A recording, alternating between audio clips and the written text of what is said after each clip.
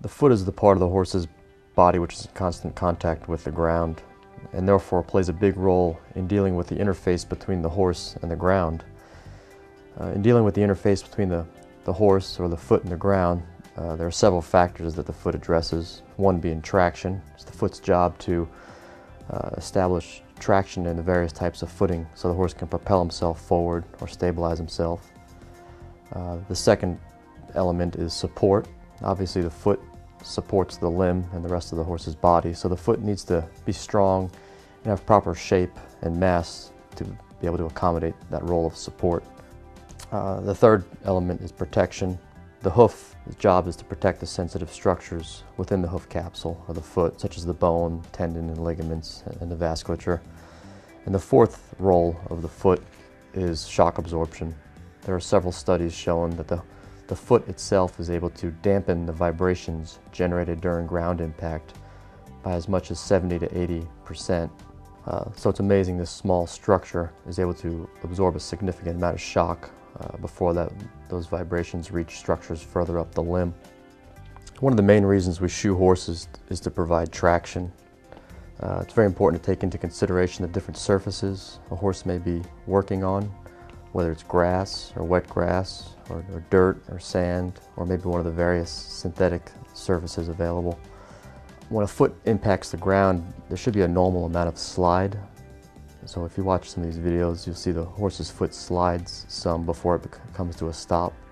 A certain amount of slide is normal.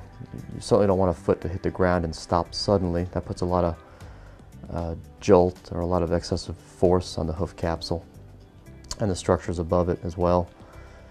So in, in picking out a shoe for a horse, you know, we, we, take into consideration the type of footing or ground the horse will be on.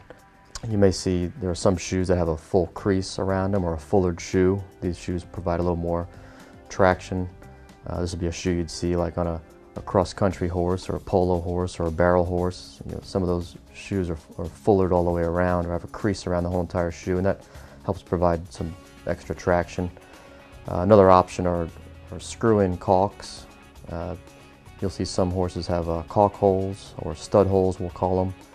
And this is a nice option because you can kind of put in a different caulk or cleat essentially uh, depending on the different footing the horse may be on. This is really good for horses that are traveling and are on different footings and you may not know what kind of footing the, you'll, you'll be faced with with each, with each competition. Another property of the footing to consider is uh, how much the horse sinks into the different types of footing, uh, particularly in sand or some of the deeper footing, um, like dressage horses.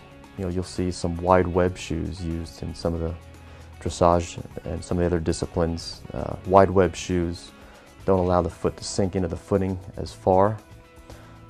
You know, some of the footing can be fairly deep and that can cause excessive strain on the, on the tendons and ligaments. Shoes can also be used to offer additional support to a foot.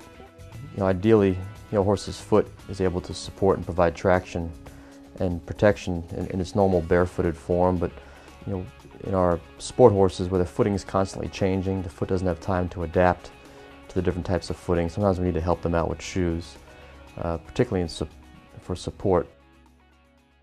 There are various different types of footing uh, that you would encounter in different types of uh, horse rings and racetracks. You know, one would be grass. Grass is probably the most natural uh, ground interface for a horse. One thing about grass, you know, when it's wet, it can be quite slippery. Uh, but I think, I think uh, grass with proper moisture content is probably one of the more ideal footings for a horse's foot. Uh, another footing type are the, is dirt.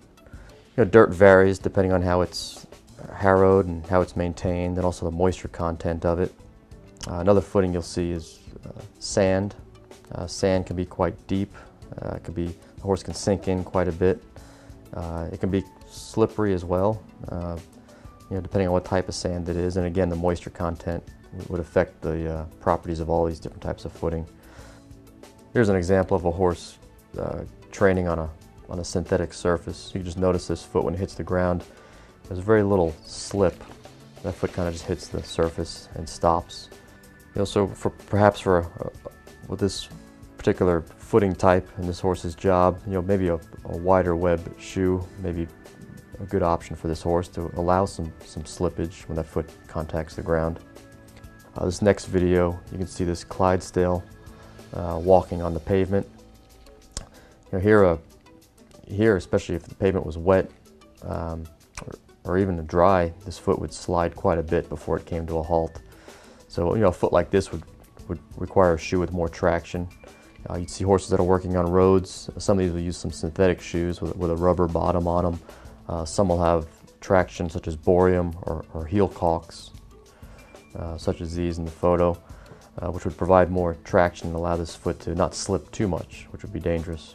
Uh, but again, you would need to properly choose your shoe type for all these different types of footing depending on uh, how it's kept up and the moisture content of each one.